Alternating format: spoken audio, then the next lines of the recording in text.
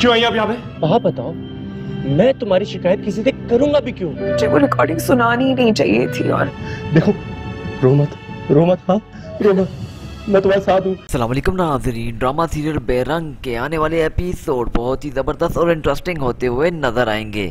فان اپنی بابی ایمل سے کہتا ہے مجھے تو یقین ہی نہیں آ رہا کہ آپ اینی بھاوی کی سگی بہن ہیں۔ آپ کا یہ بدلتا ہوا رنگ دیکھ کر مجھے بہت زیادہ افسوس ہوا۔ نہ تو آپ میں اور دوزانہ خالہ میں کیا فرق رہا؟ جیسے وہ اینی کے خلاف ہے مجھے تو آپ بھی اینی کے خلاف ہی دکھائی دے رہی ہیں۔ باب میمن کہتی ہے عفان کیا تمہیں نہیں لگتا اینی اتنی میچور ہے کہ وہ اپنا اچھا برا اچھے سے سمجھتی ہے؟ تو مجھے کیا ضرورت ہے کہ میں اس کی وجہ سے اس گھر میں بری بنوں اور اس نے جو کرنا ہوتا ہے وہی کرتی ہے؟ تو میں اپنی مرضی کے حساب سے اپنی زندگی گزارنا چاہتی ہوں، نہ کہ اینی کی وجہ سے اپنی زندگی کو پریشانیوں میں مبتلا کرنا چاہتی ہوں۔ اور صحیح اور غلط کا فیصلہ کرنے والے ہم کوئی بھی نہیں ہوتے۔ اس گھر میں چلتی تو ممی کی ہی ہے، تو ہمیں کیا ضرورت ہے ان کے فیصلوں کو رد کریں؟ جواب میں عفان کہتا ہے، اس وقت اینی بھابی کو آپ کے سہارے کی ضرورت ہے اور آپ ہی ان کی خلاف میں آ کر سامنے کھڑی ہو جاتی ہیں۔